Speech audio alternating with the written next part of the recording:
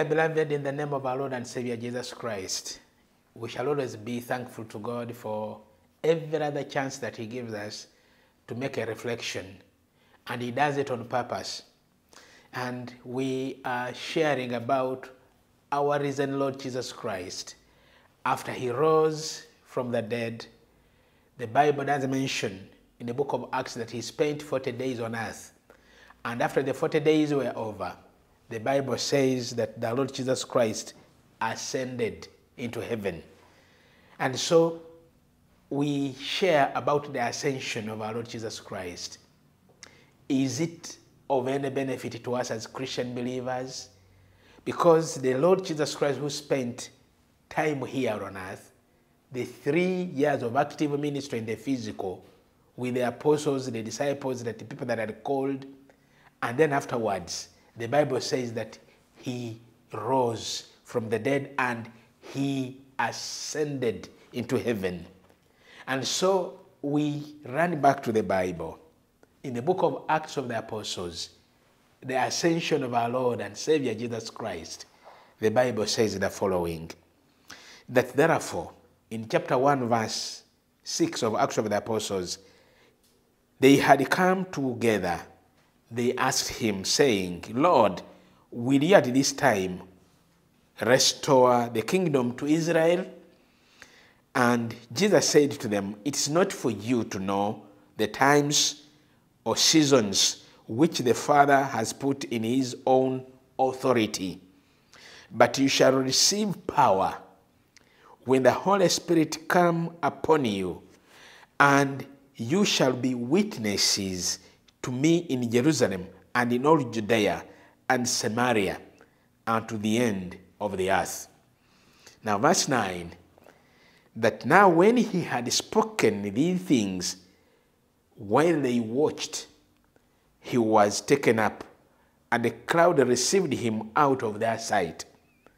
And while they looked steadfastly toward heaven as he went up, behold, two men stood by them in white apparel, who also said, Men of Galilee, why do you stand gazing up into heaven? This same Jesus who, has, who was taken up from you into heaven will come in the like manner as you saw him go into heaven.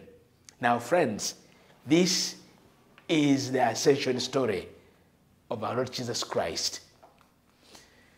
He had to go because he had promised that he will go. In John chapter 14, he tells his disciples that the time will come when I will go and prepare places for you. And so, as Christians, we read these portions with interest.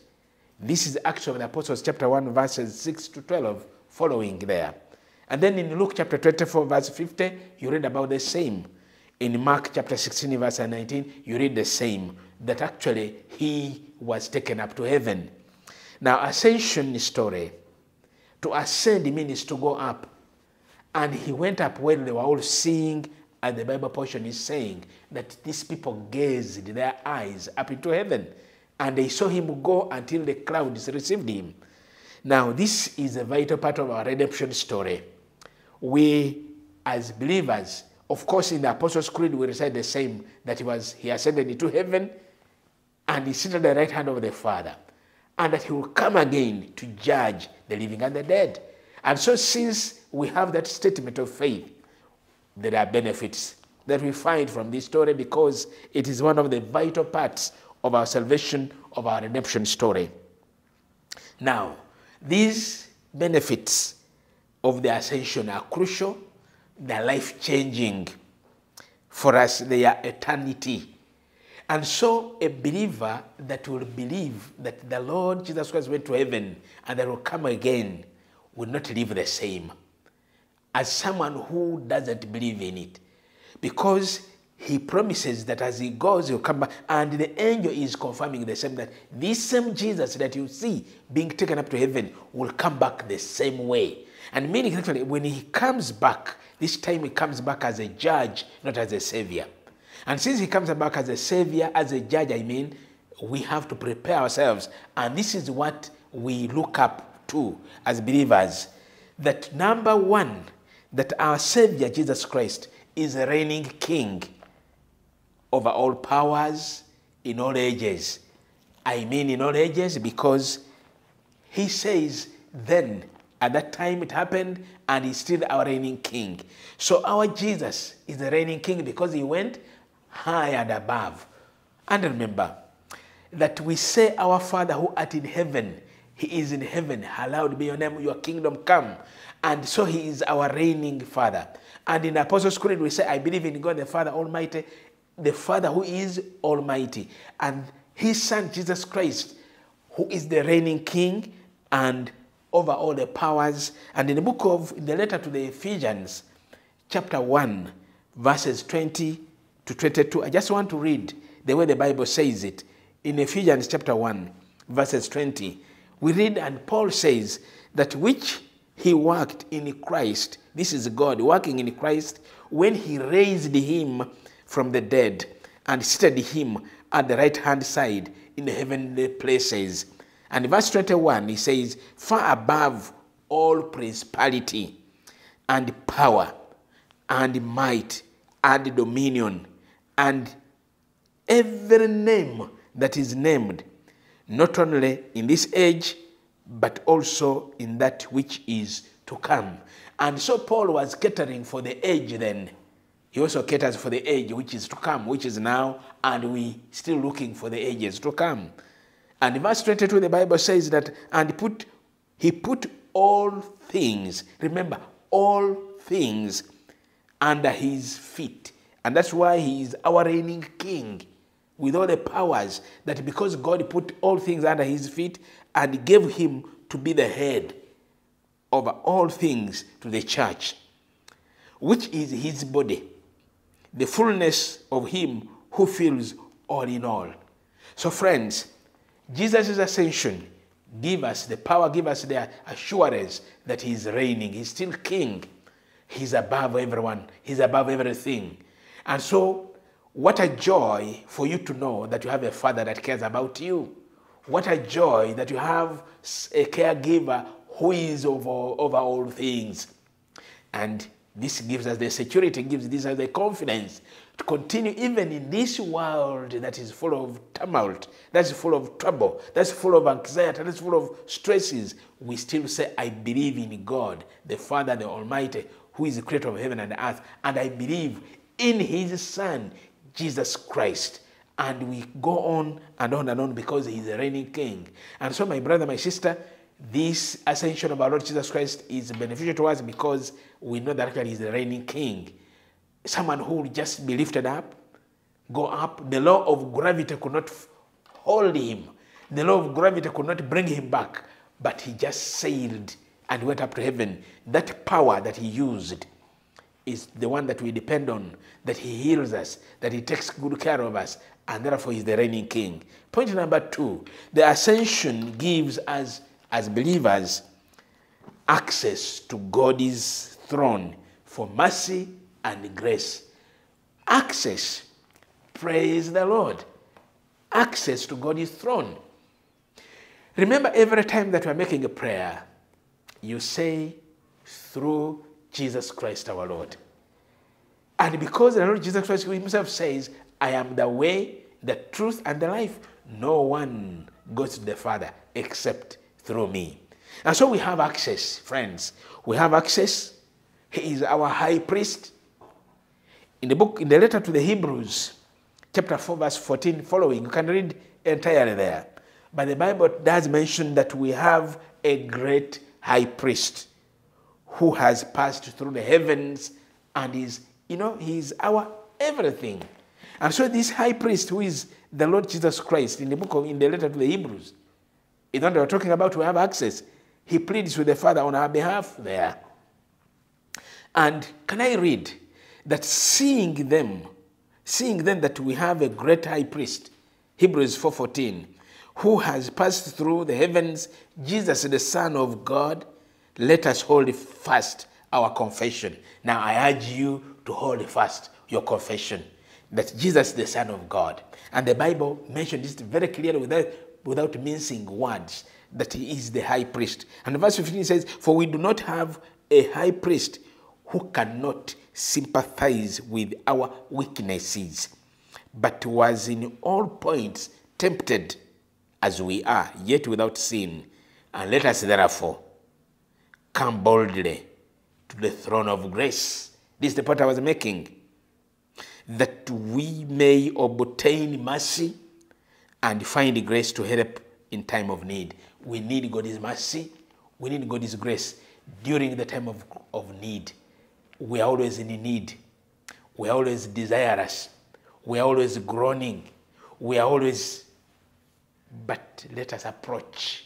We have access and direct route is the Lord Jesus Christ. So his ascension gives us this assurance, my brethren, that he did this for your benefit. He did this for my benefit. And this is very, very critical. A high priest. We can now draw near to the throne of mercy and find grace. Mercy and grace. And so, friends, this is the point that I'm making that Jesus' ascension into heaven gives us a benefit that we can have confidence in approaching the throne of mercy. That it is this confession from this that we can draw the strength to continue. That even when the world seems to be, you know, crushing us, so Paul says, but we're not, you know, we are not diminished, crushed, but we shall surface somewhere.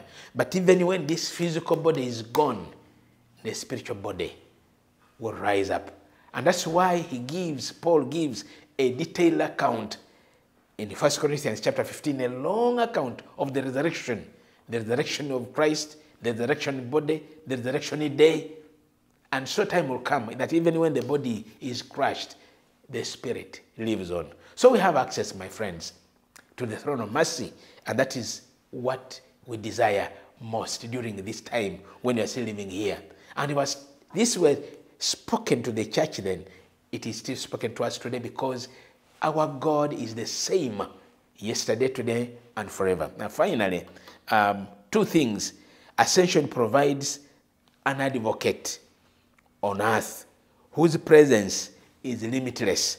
Yes, Jesus comforts because actually he promises a, an advocate here, uh, he promises a helper.